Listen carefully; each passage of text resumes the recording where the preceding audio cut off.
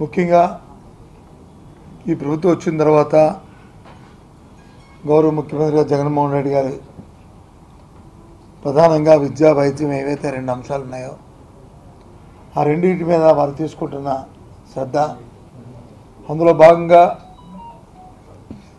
విద్యారంగాన్ని విద్యా వ్యవస్థ పటిష్టం చేయడానికి తీసుకుంటున్న చర్యలపై ఎప్పటికప్పుడు సమీక్షించుకుంటూ ఏమైనా మా దృష్టికి వచ్చిన అంశాలని వాటిని ముఖ్యమంత్రి గారి దృష్టికి తీసుకొచ్చి అధిగమిస్తూ క్షేత్రస్థాయి నుంచి పర్యవేక్షణ ఎక్కడా కూడా లోపం లేకుండా చేయాలనేది ఆయన ఉద్దేశం ఆదేశం. ఆ నిర్ణయం ప్రకారం ఈరోజు అనాదిగా ఇప్పటి నుంచో ఉమ్మడి రూల్స్ సంబంధించి ఒక అంశం పెండింగ్లో ఉంది. దాని నుంచి క్షేత్రస్థాయిలో మండల ఎడ్యుకేషన్ ఆఫీసర్ స్థాయిలో ఆరు వందల డెబ్బై రెండు మంది పోస్టులు ఉంటే రెండు వందల నలభై పోస్టుల వరకు ఖాళీగా ఉన్నాయి. నాలుగు వందల ఇరవై నాలుగు మాత్రమే ఇప్పుడు తొంభై ఎనిమిదో సంవత్సరంలో ఆ రోజు ప్రమోషన్లు ఇచ్చి అప్పటి నుంచి రెండు మండలాలకి మూడు మండలాలకి నాలుగు మండలాలకి ఒక ఎంఈఓని పెట్టి పర్యవేక్షించడం జరుగుతుంది. ఈ నేపథ్యంలో మొన్న జరిగిన ముఖ్యమంత్రి గారి అధ్యక్షం జరిగిన సమావేశంలో వారు తక్షణమే నీ లోపాన్ని సరి సరిచేయాలి పర్యవేక్షణ ప- పటిష్టంగా ఉండాలి అనే విషయాన్ని వారు చెప్పడం జరిగింది.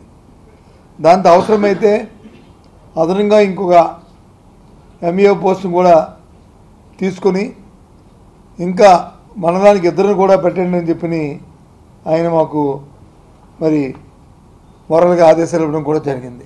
దాని మీద ఫైల్ కూడా మూవ్ అవుతుంది. దాని మీద ఇంకా అధికారిక ఆదేశాలు త్వరలో రాబోతున్నాయి. అంటే ఇంకొక ఆరు వందల డెబ్బై ఆదేశాలతో త్వరలో రాబోతున్నాయి. అవి కూడా ఇంకా అండర్ ప్రాసెస్లో ఉంది. కానీ ఏవైతే ఇప్పుడున్న రెండు వందల నలభై ఎనిమిది ఎనిమిది ఏవైతే వేకెన్సీలు ఉన్నాయో మరి ఉమ్మడి రూల్స్ ప్రకారము సర్వీస్ ఆటంకం ఉండడం వల్ల అందుకే ఉద్యోగ సంఘాలు అన్నీ పిలిపించాము. అందరితో కూడా సంప్రదించి వాళ్ళతో మాట్లాడాము.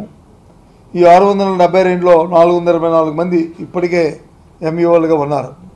అందులో గవర్నమెంట్ ఏదైతే అనాదిగా పెండింగ్ ఉన్న విషయం ఏంటంటే గవర్నమెంట్ టీచర్లు జిల్లా పరిషత్తు టీచర్లు అందులో పనిచేస్తున్న వాళ్ళు ఇందులో పనిచేస్తున్న సర్వీస్ మ్యాటర్స్లో వాళ్ళకి ఇక మరి సమన్వయ లోపం వల్ల లేకపోతే వాళ్ళ సర్వీస్లో వచ్చిన విభేదాల వల్ల అవి న్యాయస్థానంలో పెండింగ్ ఉండడంతో ఈ అందులో పదముగ్గురు మాత్రమే గవర్నమెంట్ వాళ్ళు ఉన్నారు. రెండు వందల నాలుగు వందల ఇరవై నాలుగులో మిగతా వాళ్ళు నాలుగు వందల పదకొండు మంది జిల్లా పరిషత్ వాళ్ళు ఉన్నారు.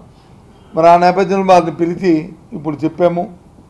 ఈ రెండు వందల నలభై ఎనిమిది ఏవైతే ఉన్నాయో అవన్నీ కూడా గవర్నమెంట్ టీచర్లు ఎవరైతే ఉన్నారో సీనియర్లు ఎవరైతే ఉన్నారో మండలాన్ని ఒక యూనిట్గా తీసుకొని. అంటే సీనియారిటీ లిస్టుని తర్వాత ప్రొసీజర్ ప్రకారం ఎప్పుడు జరుగుతూ అప్పుడు జరుగుతాయి. వాళ్ళు వాళ్ళు అంగీకరించిన పాప న్యాయస్థానం అంగీకరించిన అంగీకరించిన పేద నేపథ్యం అవుతాయి. ఈ మధ్యకాలంలో టెంపరీ అరేంజ్మెంట్ కింద అంటే పరిపాలనా సౌలభ్యం కోసం. వర్కింగ్ అడ్జస్ట్మెంట్ కోసం మరి ఇన్ఛార్జీలుగా మరి గవర్నమెంట్ టీచర్లు ఎవరైతే ఉన్నారో మండలాన్ని నిలబెట్టి సీనియర్ని ఈ రెండు వందల నలభై ఎనిమిది మందిలో ఎన్ని మంది ఉంటే అంతమందిని కూడా వేయాలనేది మరి నిర్ణయాన్ని తీసుకున్నాము. ఆ విషయాన్ని వాళ్ళకు కూడా చెప్పాము. వాళ్ళు కూడా దాన్ని అంగీకరించారు. అది ఆ విషయం మొదటిది. ఇక రెండో అంశంకి వచ్చినప్పుడు ఇది ఫేస్ రికగ్నేషన్ ఏదైతే అటెండెన్స్ సంబంధించి అంశం ఏదైతే ఉందో గత పదిహేను రోజుల కింద ఒక సమావేశం పెట్టి ఆ రోజు తీసుకున్న నిర్ణయాన్ని వాళ్ళు అడిగితే వాళ్ళు అందులో కొన్ని ఏబిసిడి అని కొన్ని అంశాలని వాళ్ళు లేవనెత్తారు అవి వారి క్లారిఫికేషన్ కావాలంటే మా టెక్నికల్ పీపుల్ కూడా ఎదురుపెట్టి అవన్నిటిని కూడా అడ్వైజ్ చేస్తాము. అవన్నీ చేశాము ఇవాళ నుంచి మస్ట్ షుడ్గా అవన్నీ కూడా అమలు జరగాలని వాళ్ళకి మరి చెప్పడం జరిగింది. ఆ రకంగా జరిగాము ఆ సమావేశం వాళ్ళు అడిగారు అయ్యా అది కాదు ఇంకో పదిహేను రోజులు మాకు టైం ఇవ్వండి సమయం ఇవ్వండి అడిగారు. ఎందుకోసం మీకు సమయం అని అడిగాను? అడిగితే ఇంకా కొన్ని లోపాలు ఉంటాయి కొన్ని ఇబ్బందులు వస్తాయి కొన్ని ఉన్నాయి అన్నారు సరే మీరు మాత్రం ముందు పని కానివ్వండి మీకు లోపం వచ్చినా ఏదొచ్చినా సమస్య వచ్చినా ఎప్పుడు వస్తుంది? పదిహేను రోజులు మేము మళ్ళీ నెల రోజులు మీ అటెండెన్స్ చూసుకున్న తర్వాత అందులో ఎవరెవరైతే తప్పు జరిగిందో ఎవరైతే దాన్ని ఆచరించుకున్నారో అప్పుడు కదా ఆలోచన చేద్దాం కానీ పని మాత్రం జరగాలి జరగనిమని చెప్పాము. అందులో మాత్రం ఏ విధమైన వెసులుబాటు లేదనే విషయాన్ని కూడా వాళ్ళకి చెప్పాము. ఆ తర్వాత ఆలోచన చేద్దామని చెప్పాను. దానికి కూడా వాళ్ళ అంగీకరణ జరిగింది. ఎందుకంటే ఏదైనా ప్రభుత్వం తీసుకున్న నిర్ణయం ఏ ఒక్కరి కోసమో లేదా ఎవరి కోసమో నిర్ణయం తీసుకోము వ్యవస్థ కోసం వ్యవస్థ పటిష్టం చేయడం కోసం. ముఖ్యంగా విద్యారంగం సంబంధించి విద్యార్థులకు భవిష్యత్తు వారికి మంచి బాధలు ఉండాలని మంచి నడవడికి రావాలని వారికి ఇవాళ మరి మారుతున్న సమాజంతో పాటు మారుతున్న వ్యవస్థతో పాటు వారిలో కూడా మార్పులు చేర్పులు రావాలని గ్లోబలైజేషన్లో మొత్తం మన సీఎం గారు మా ఏదైతే ఆలోచన చేస్తున్నారో ఫౌండేషన్ స్థాయిలోనే ఫౌండేషన్ స్థాయిలోనే మరి పెద్దవాళ్ళు అయిన తర్వాత గ్లోబల్ కాంపిటీషన్లో మీరు నిలబడేటట్లు ఇప్పటి నుంచే వాళ్ళు పటిష్ట చేయాలనేది ముఖ్యమైన దానికి ఆలోచన తాపత్రయం. అందుకే ఆ ఆ నేపథ్యంలోనే ఇవాళ ఒక స్కూల్స్ని ఆ అట్మాస్ఫియర్ క్రియేట్ చేయడం నాడు నేడులో ఇస్తున్న ఫెసిలిటీస్ని కానీ లేదు డిజిటల్ మరి క్లాస్ రూమ్స్ తయారు చేసి మరి చేస్తున్న ఆ కార్యక్రమం కానీ లేదు టీచర్ టీచర్లందరికీ కూడా మరి కంటిన్యూస్ ప్రాసెస్గా వాళ్ళకి ట్రైనింగ్ ఇస్తూ వాళ్ళకి కూడా ఇంగ్లీష్ మీడియం బోధనలో మరి నైపుణ్యం రావాలని చేస్తున్న మరి ప్ర- మా అధికారులు చేస్తున్న ప్రక్రియ కానీ ఇవన్నీ కూడా అందులో భాగంగానే అనే విషయాన్ని మనం తెలియజేస్తూ ఏదైనా సరే ఈ ప్రభుత్వం ఉద్యోగుల పట్ల మరి ఫ్రెండ్లీ గవర్నమెంట్ అందులో వేరే వేరే అభిప్రాయం లేదు. ఏ విషయం విద్యా విద్యా ఉద్యోగ సంఘాలు చెప్పాము ఏ విషయం మీకు ఏ అంబిక్యూటీ ఉన్నా ఏ విషయం మీకు ఏ సమస్యని అనిపిస్తున్నా అది అధికార దృష్టికి తీసుకురండి లేదా మా- నా దృష్టికి తీసుకురండి తప్పకుండా దాన్ని సాల్వ్ చేస్తామని చెప్పి చెప్పాము. ఈ రెండు కార్యక్రమాలు ఏం చెప్పామో అవన్నీ కూడా అమలు జరుగుతాయనే విషయాన్ని మీ ద్వారా కూడా తెలియజేస్తున్నాము ఈ కార్యక్రమం. అది. అంతేనా ఏం కేసులు? సిపిఎస్ కేసులు ఏంటి? అదే ఏదో చెప్పారు నాకు వాళ్ళు? చెప్తే రేపు సిపిఎస్ వాళ్ళు పిలుస్తాను కదా వాళ్ళు వాళ్ళు వాళ్ళు వచ్చినప్పుడు వాళ్ళతో మాట్లాడతానని అన్నాను. అది కాదండి మా మీద కూడా పెట్టారని అంటే అయితే దాని మీద ఒక రిప్రజెంటేషన్ ఇవ్వండి ఇస్తే ముఖ్యమంత్రి దృష్టి తీసుకెళ్తాను అని చెప్పి చెప్పాను సార్ ఇప్పుడు fifteen days period grace period ఏంటి? గ్రేస్ పీరియడ్ లేదు బాబు. నీకు ఇష్యూ నీకు ఇష్యూ ఏంటి? ఒకవేళ ఏదైనా యాప్ వచ్చి పనిచేయలేదు ఏదో పనిచేయలేదు పని చేయలేదు. దాని నుంచి రెక్టిఫై చేయాలి. దాన్ని చేయకపోతే మీ ఇచ్చిన ఆర్డర్ ఏంటి? నువ్వు కానీ పని చేయకపోతే నేను మేము పనిష్మెంట్ చేస్తామని కదా. సమ్ ఇంపోజ్ పనిష్మెంట్ ఇంపోజ్ చేస్తామని కదా. వాళ్ళ ఆలోచన. అది అది అది- అది వస్తే కదా వస్తే అప్పుడు ఆలోచిస్తాం. లేని దాన్ని ఎందుకు ఆలోచించాలి? ఇప్పుడే తప్పు జరుగుతుందని ఎందుకు ఆలోచించాలి? తప్పు జరిగితే అప్పుడు ఆలోచిస్తాం. ఉంది సిస్టమ్ ఉంది ఇప్పుడు మరి కొత్తగా ఏం లేదు. ఈరోజు కొత్త సిస్టమ్ ఏదీ లేదు ఇందులో. ఓల్డ్ సిస్టమ్ ఏదైతే అనాథగా జరుగుతుందో అనాథగా జరుగుతున్న సిస్టమ్ తప్ప ఈరోజు ఒక చిన్న అక్షరం కానీ కామా కానీ పురుషం కానీ మార్చలేదు. లీవుల విషయంలో. ఏదైతే ఏదైతే అదే. ఏదైతే అదే ఇంతకుముందు ఉన్నది ఏదైతే అదే మేమేం మార్చలేదు. అందుకు ఆ విషయం నేను తెలుసుకోలేదు కూడా ఎప్పుడు తెలుసుకుంటాను? పాత దానికి కొత్త దానికి ఏం తేడా ఉంటే అవునండి ఏంటంటే చెప్పండి కమిషనర్ గారు సురేష్ గారు అని చెప్పి నేను అడుగుతాను. లేని దాన్ని మార్చలేదండి అందుకు ఇంకెందుకు ఆ విషయం అడగను.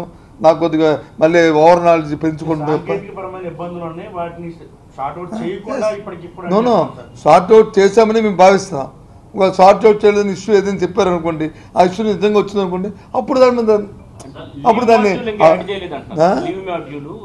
ఎందుకు చేసాం చేసాం అంటే వాళ్ళ కింద ఏం చెప్పారంటే ఈ ఫిఫ్టీన్ డేస్ గ్రేస్ పీరియడ్ ఇందులో ఇది కన్సిడర్ చేయరు యాప్లో వేసిన అటెండెన్స్ కన్సిడర్ చేయరు మనం- అది అది అయిపోయింది. అటెండెన్స్ ఇవ్వచ్చు ఇవాళ ఎయిటీ పర్సెంట్ వేశారు అటెండెన్స్ ఇవాళ eighty percent attendance register eighty eighty six sorry eighty six. Registration చేసుకున్నారు. అటెండెన్స్ కూడా స్టార్ట్ చేశారు. చేస్తుంటే అది అవుతుంటుంది. నీకు అంటుంది అర్థమైందా? ఈ- ఈ రోజు మళ్ళీ పదిహేను రోజులు పోయిన తర్వాత మళ్ళీ ఇదే విషయం వస్తుంది. పదిహేను రోజులు పోయిన తర్వాత కూడా ఇదే వస్తుంది కదా.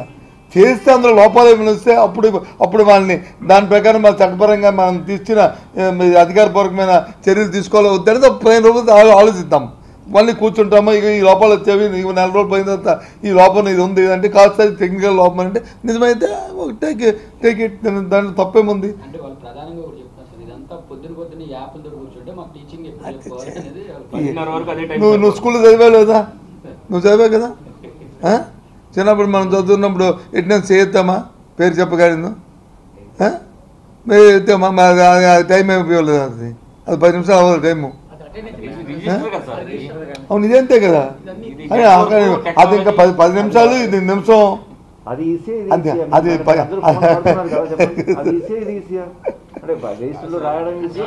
సార్ ఇగో మనం చెప్తున్నాం సాంకేతిక పరిజ్ఞానం పెరిగింది టెక్నాలజీ పెరిగింది. దాంతోపాటు మనం కూడా పెరగాలి దాన్ని అందుకోవాలి. ఎప్పుడో ఉన్న ఓల్డ్ సిస్టాలు ఓల్డ్ మళ్ళీ ఇంకోటి చెప్పిందే మీకేం డౌట్ ఉంది వాళ్ళకేం లేవు. వాళ్ళు కింద చెప్పినన్ని నేను క్లియర్ చేశాను. నేనైతే ఐ సాటిస్ఫైడ్ వాళ్ళు పూర్తిగా నేను చెప్పింది నమ్మారు వెళ్ళారు చేశారని నేనైతే అనుకుంటున్నాను అందుకే వాళ్ళు చెప్పిన అందుకే అందుకే వాళ్ళు చెప్పింది అందుకే. అందుకే జాయింట్ ప్రెస్ కాన్ పెట్టి సరిపోయింది. Sir next time joint press con పెడతాను అది పక్కన పెట్టుకొని. గ్రేస్ కూడా ఏం లేదు గ్రేస్ పీరియడ్ దేనికి? పనిష్మెంట్ కదా?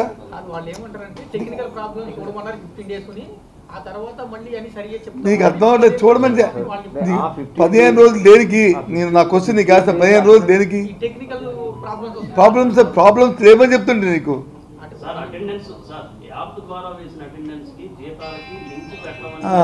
అది అయిందా అంటే అర్థం ఏంటి పదిహేను రోజుల్లో కానీ ఏమైనా తప్పులు జరిగితే దాని జీతంలో కొట్టమని అనేది అనే కదా మీకు అర్థం మరి పడుతుందా సార్ అటెండెన్స్ నా అర్థం చెప్తున్నాను తర్వాత నుంచి అటెండెన్స్ సార్ మీకు అర్థమైంది ఏదో చెప్పేస్తే నాకు అప్పుడు నేను దానికి ఆన్సర్ చేస్తాను నాకు అర్థమైంది అర్థం ఆన్సర్ చేస్తాను మీకు అర్థమైంది చెప్పండి నాకు మీకు ఏ విధంగా చెప్పింది అర్థమైందో చెప్తే నేను నా అర్థం నేను చెప్తాను యాప్ అటెండెన్స్కి ఎవరో ఒక్కరు లేదా మీ అందరూ ఆలోచించుకోండి నేను చెప్పండి. యాప్లో అటెండెన్స్కి సాలరీస్కి లింక్ అవుతుందా లేదా? లేదు. లేదు. ఎస్ చెప్పాం కదా? ఫిఫ్టీన్ డేస్ కా సార్?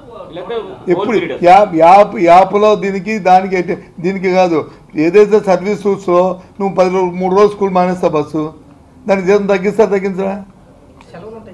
సెలవు సెలవు అయిపోయిన తర్వాత? అదే ఇది అంతే. అప్పుడు అర్థమైంది నీకు? క్లియర్ కట్గా?